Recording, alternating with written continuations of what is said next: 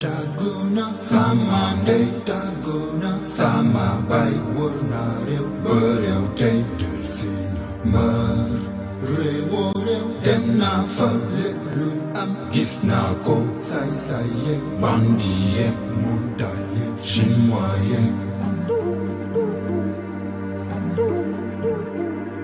Taguna samandai, taguna samabai Ramatuma sama takna sambandai Taga samakarndai, taga samakarbai Niyuwambandai, piriwari revirew Jogulam,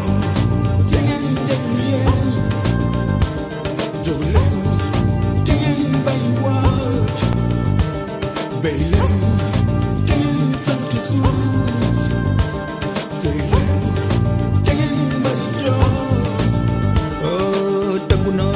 شيل قيس الجو رمت من وين تنس من بعدين تبنا تجو شيل قيس الجو رمت من وين تنس من بعدين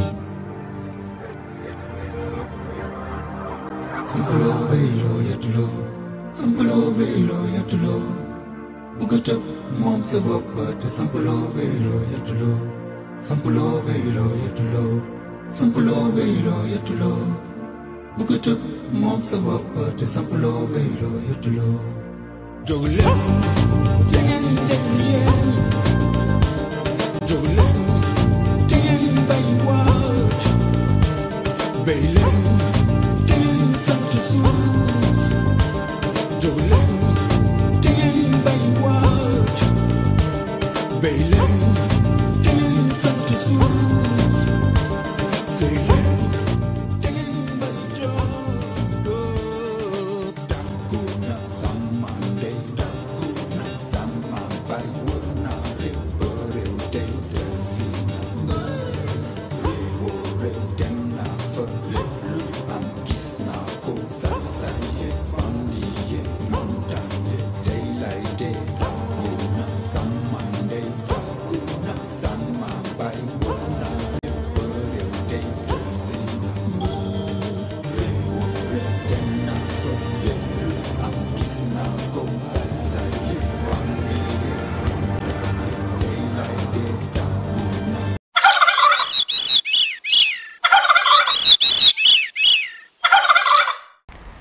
BirdLife has developed a conservation strategy for West Africa that will be launched in the course of this event.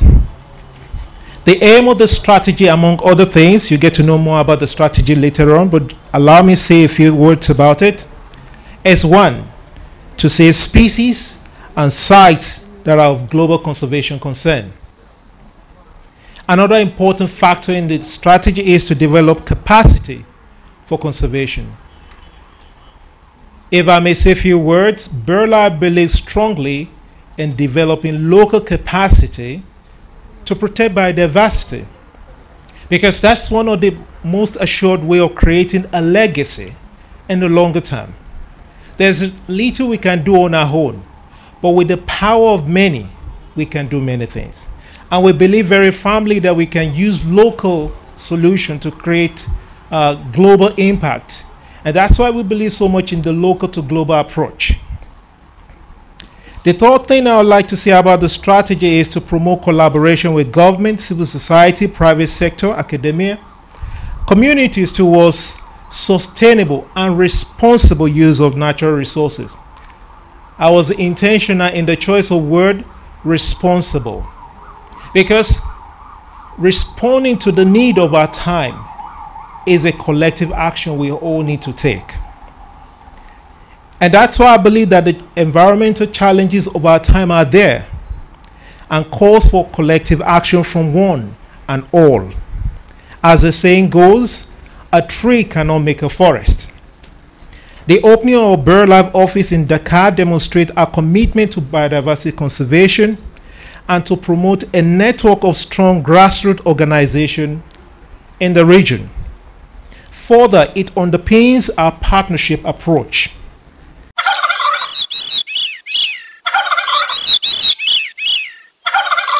et de plus en plus le foot maintenant avec Sadio Mané et beaucoup d'autres joueurs dans la première ligue.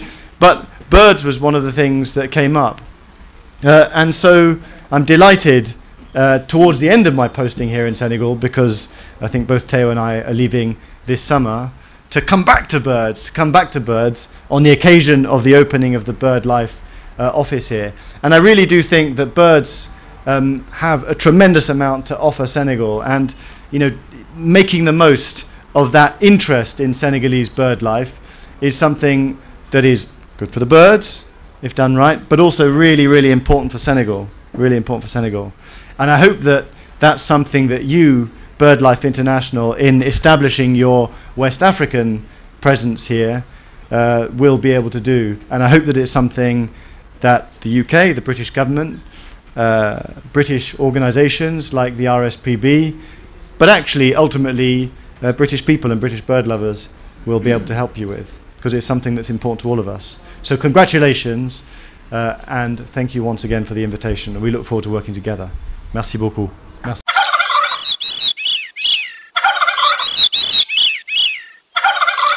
When I dream, so I will uh, just simply switch uh, and stick to uh, to English uh, today.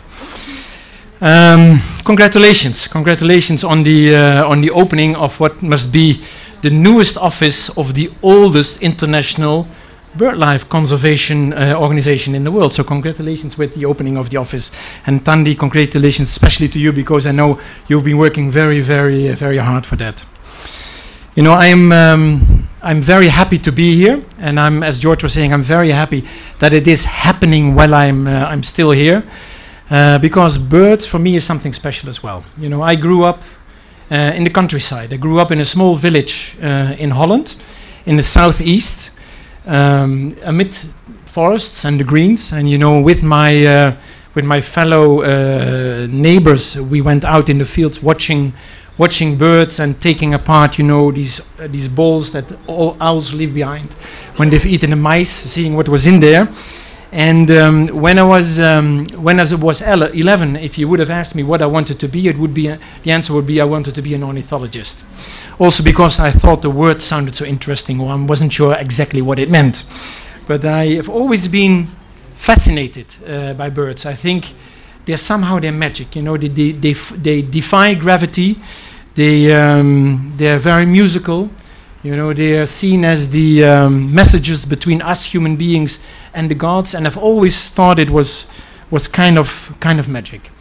However, after after I was 11, uh, I mean, school and career has taken me in other directions, and I hadn't really thought of birds so much anymore until in 2015, I arrived here in Senegal, and I had uh, I was had the privilege to to have a large garden with many many birds, hummingbirds and all kind of different other birds that were that were there. And my my interest and my old love for the birds got rekindled again. So I started watching. I, I became a member of BirdLife again in the in the Netherlands since 2016. And um, quickly afterwards, I was approached by um, the Ministry of Environment because they were hosting the PAOC, the Pan African Ornithological Congress, I think in 2013. So I was very happy that they came to my place. We had a reception, the minister was there.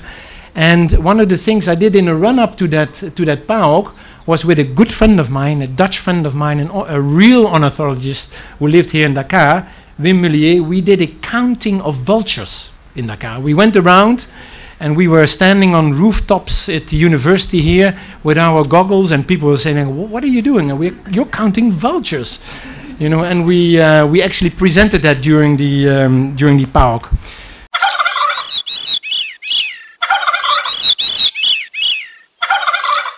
Voilà déjà quelques années que BirdLife a entamé euh, son processus pour son implantation dans l'écorégion, affirmant ainsi sa volonté de se rapprocher de ses partenaires, mais aussi du théâtre des interventions. Le PRCM se réjouit de cette excellente euh, initiative, de ce processus qui arrive aujourd'hui à l'inauguration de des locaux. Ceci euh, est tout à fait euh, intéressant et présente à plus d'un titre les avantages certains pour l'atteinte des objectifs de conservation. Euh, si j'en prends quelques critères classiques d'efficacité et d'efficience. Mesdames et messieurs, permettez-moi de saisir cette opportunité pour euh, magnifier l'excellence des relations entre BirdLife et le PRCM. Au-delà de l'objectif commun de conservation, nous partageons plusieurs valeurs. Le directeur régional mentionnait tout à l'heure le partenariat. Et nous reconnaissons ensemble cette impérieuse nécessité de construire des partenariats solides. D'abord avec les gouvernements, la société civile, la recherche, mais aussi le secteur privé. Ensemble, nous construisons de façon durable une communauté d'intervenants dans la sous-région. C'est donc tout à fait à notre honneur d'être ici présent pour euh, exprimer, si besoin en était, notre intérêt à continuer ensemble. Nous vous félicitons pour euh, ce souci de concertation régulier. Et nous pensons que c'est très structurant, même si à première vue, ça consomme du temps. Mais c'est très structurant. Car il y a un proverbe africain qui dit que si tu veux aller vite, tu marches seul, mais si tu veux aller loin, marchons ensemble. Donc, Madame la directrice, c'est aussi l'occasion pour moi, au nom du directeur exécutif du PRCM, de vous exprimer notre gratitude pour votre engagement et votre implication dans les moments clés de la trajectoire du PRCM. Vous avez assuré de façon régulière votre engagement au niveau du forum marin et côtier. Vous avez animé avec responsabilité ces, ces sessions. Vous avez également, dans notre processus d'autonomisation, pris une part active pour montrer que le PRCM reste ce partenariat régional d'acteurs, d'organisations internationales auxquelles vous tenez tant. Soyez-en remerciés. Il y aurait tant de choses à dire, mais permettez-moi juste de conclure en renouvelant notre satisfaction pour euh, cette inauguration qui nous rapproche davantage avec le centre opérationnel et décisionnel de BirdLife en Afrique de l'Ouest. Et sur ce, je vous souhaite un plein succès dans vos actions et vous réaffirme au nom du directeur exécutif du PRCM la disponibilité du, PRCM à être à vos côtés sur de nouveaux chantiers, sur de nouveaux challenges. Je vous remercie.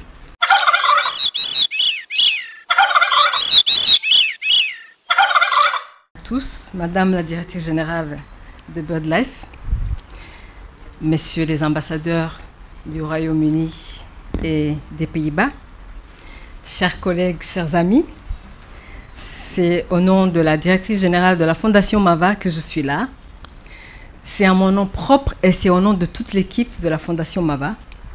Nous sommes vraiment, vraiment ravis euh, de l'ouverture de ce bureau. Euh, vous savez, la Fondation Mava euh, finance la conservation en Afrique de l'Ouest, en Suisse et également en Méditerranée depuis 25 ans cette année. Et un des rêves du fondateur, c'était de mettre en place des communautés d'acteurs pour la conservation. Euh, c'est un nom qui est revenu beaucoup de fois là, depuis que les gens parlent. Donc la communauté des partenaires qui travaillent ensemble pour résoudre les problèmes de la conservation. Et donc, euh, nous, ici en Afrique de l'Ouest, nous avons un certain nombre de partenaires clés que nous considérons comme des piliers de notre programme. Et je suis ravie de dire que BirdLife International est l'un de ces piliers. C'est un acteur très important qui euh, joue un rôle vraiment majeur dans notre recherche euh, de mettre ensemble les acteurs du gouvernement, les acteurs de la société civile, les acteurs de la recherche et les acteurs également du privé pour euh, ensemble trouver des solutions. Dans notre dernière stratégie, je dis dernière parce que je ne sais pas si tout le monde ici est au courant que en 2022, la MAVA va arrêter de financer les projets donc, euh, comme elle le fait jusqu'à présent. Mais donc, je disais que dans notre stratégie 2016-2022, nous avons décidé de travailler sur un certain nombre de thématiques prioritaires. Et BirdLife, justement, euh, joue un rôle très important sur plusieurs de ces thématiques. On a parlé des oiseaux marins, on a parlé des oiseaux d'eau, on a parlé des oiseaux côtiers, les tortues marines aussi, mais également la gestion environnementale des activités pétrolières et gazières et la réduction du bycatch. Et donc ça, ce sont des thématiques sur lesquelles nous soutenons BirdLife, mais également le renforcement de la société civile à travers un fonds de renforcement des capacités. Sans parler, bien sûr, de ce bureau que nous considérons comme, euh, euh, en tout cas, euh, une, très très forte avancée dans le renforcement de la présence de l'organisation dans la région. Parce que pour ceux qui connaissent l'histoire, après la fermeture du bureau du WWF et la fusion de la fondation FIBA avec la MAVA, il fallait quand même essayer de renforcer encore et encore la société civile internationale et donc, avoir une organisation internationale comme BirdLife ici dans la sous-région est très important. Et ça fait partie aussi des, euh, on va dire, de l'héritage que la MAVA souhaite laisser. L'héritage que la MAVA souhaite laisser dans cette, euh, dans cette région, d'avoir une communauté, une société civile bien organisée et très forte. Je voudrais donc féliciter BirdLife pour l'ouverture de ce bureau, je voudrais lancer un appel ici à tous les autres acteurs, à tous les bailleurs, à tous les autres partenaires techniques et financiers, afin qu'ils viennent travailler avec BirdLife, qu'ils viennent soutenir BirdLife, parce que c'est un partenaire qui a un énorme potentiel, qui a un réseau mondial.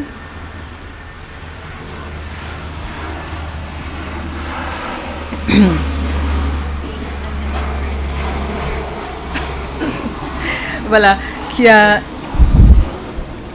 un réseau mondial d'experts euh, qu'il peut vraiment facilement mobiliser pour venir en appui et pour venir renforcer tous les acteurs.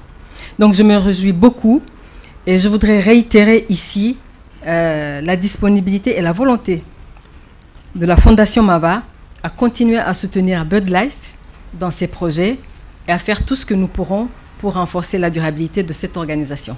Merci beaucoup.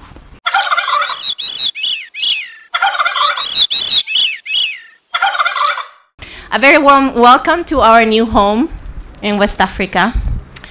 Uh, as the oldest international conservation organization, not only birds actually, uh, we are almost 100 years old. I know that we look a little bit younger. Um, we are the largest global partnership for nature. We are 115 local conservation organizations around the world. Uh, and our mission is centered on tackling one of the most uh, pressing issues of the planet right now the loss of our nature. George, you couldn't have said it better. Uh, birds are ambassadors of nature, and BirdLife uses birds to conserve life. And we do this by studying and conserving birds. Birds, BirdLife is the bird authority for the uh, planet. We manage and uh, curate the red list. Um, and we use them as the ambassadors to tell us what are the most important places on the planet to protect not only birds, but nature. It just so happens that birds are the most studied creature on the planet, more than plants, more than any other type of animal. There's more publications, scientific publications about birds than anything else. And it just so happens that if you look at the global biodiversity in the planet, 89% of the most important places for nature, 89%, are the most important places for birds. So if we're preserving the most important places for birds, we're tackling mo most of the most important places for nature.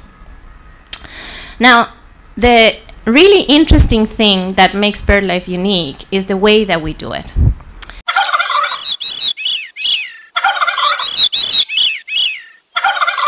Dakar is very important in that it connects many of the countries in West Africa together. Dakar est très important pour nous en ce sens que Dakar connecte plusieurs pays de l'Afrique de l'Ouest euh, ici. Practically, Dakar has fast become the hub for economy in West Africa, bringing different countries together, and it's also the home uh, city for many of the international organizations that you have present here in West Africa. Dakar va devenir euh, un hub en en Afrique de l'Ouest, euh, mais également Dakar est aussi euh, le, le siège de beaucoup d'organisations internationales ici en Afrique de l'Ouest. Speaking about conservation, Dakar is quite important in the region. Pour ce qui concerne la conservation, Dakar est, un, euh, est une partie très importante dans la région. The work that BirdLife is doing covers work on land and at sea. Le travail que nous faisons à BirdLife, c'est un travail qui euh, euh, concerne aussi bien la, la terre ferme que la mer. Fisheries in the sub-region has a very strong link with Dakar, and we believe with our presence here in Dakar, we'll be able to promote healthy fisheries and healthy marine ecosystem nous- for the region. Nous- notre travail en Afrique de l'Ouest, donc nous avons beaucoup de liens avec, euh, avec Dakar et nous espérons avoir en tout cas développé euh, beaucoup de, euh, pour ce qui concerne la, pêche, mais également le- le- la pêche et la conservation animale dans la sous-région. While on land, many habitat and ecosystems are highly vulnerable. Through our presence here in the sub-region, to be working with different partners to protect biodiversity and critical sites in the region on land. Il y a beaucoup d'habitats qui sont des habitats vulnérables, des habitats en tout cas des oiseaux qui sont vulnérables. Et euh, notre présence ici, nous allons travailler avec beaucoup de partenaires pour pouvoir aider ces habitats qui sont vulnérables euh, au niveau, de, au niveau euh, terrestre, mais également au niveau marin. Most importantly, our presence here would not have been possible without the hospitality of the Senegalese government, and we're very grateful for uh, to the Senegalese government for having us here, have our sub-regional office in Dakar. Mais aussi une autre raison pour notre présence en- au, au Sénégal, euh, c'est l'hospitalité de la population sénégalaise. Et nous en profitons pour remercier également euh, le gouvernement sénégalais, les autorités sénégalaises pour nous faciliter notre implantation, notre euh, mise à disposition au niveau de votre pays.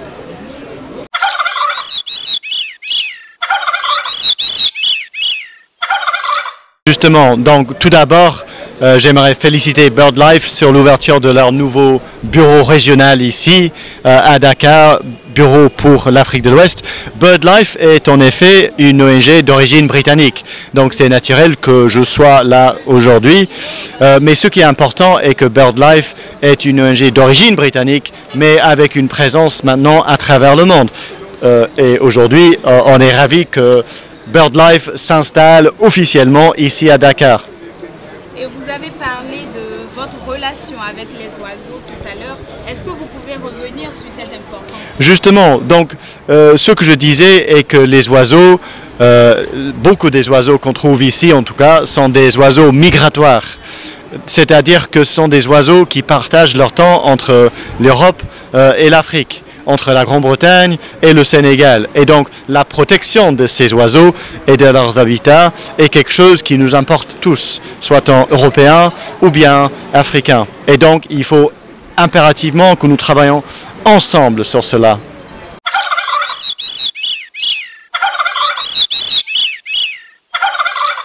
Bon, je suis très heureux d'être ici, ici, ici aujourd'hui.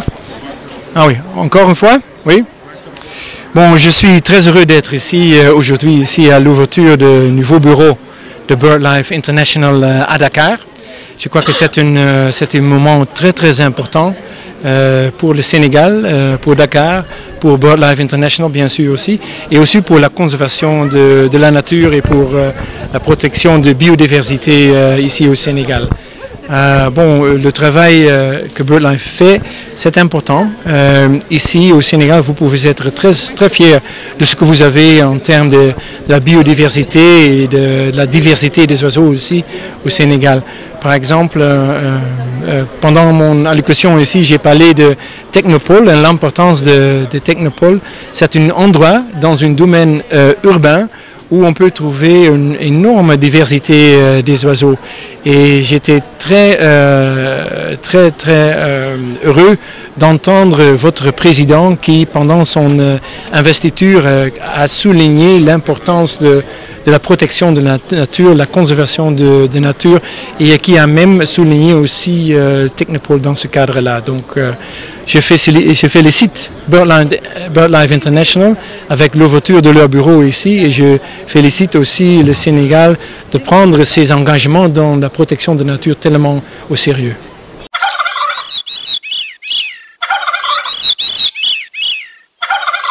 En réalité, la MAVA est un bailleur de fonds et donc la MAVA finance euh, BirdLife International depuis plusieurs années d'ailleurs. Et donc on les finance sur plusieurs projets. Euh, C'est particulièrement des projets qui consistent à protéger les oiseaux marins ou alors euh, à protéger les oiseaux d'eau. Nous finançons également des projets pour essayer de réduire l'impact des activités pétrolières et gazières sur le milieu marin. Et nous finançons également euh, le renforcement des capacités des organisations de la société civile, ainsi que euh, le fonctionnement institutionnel de BirdLife International ici.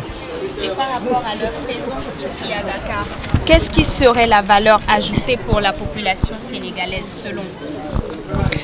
Vous savez, euh, je pense que pour la population sénégalaise de manière générale, il faut qu'il y ait des acteurs qui font la promotion du développement durable. hein.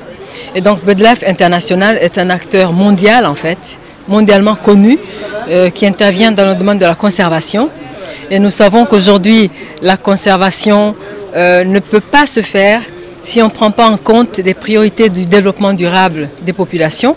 Et donc, pour ce faire, euh, BirdLife est bien sûr un acteur additionnel important qui vient renforcer le tissu euh, des acteurs qui essaient de promouvoir le développement durable.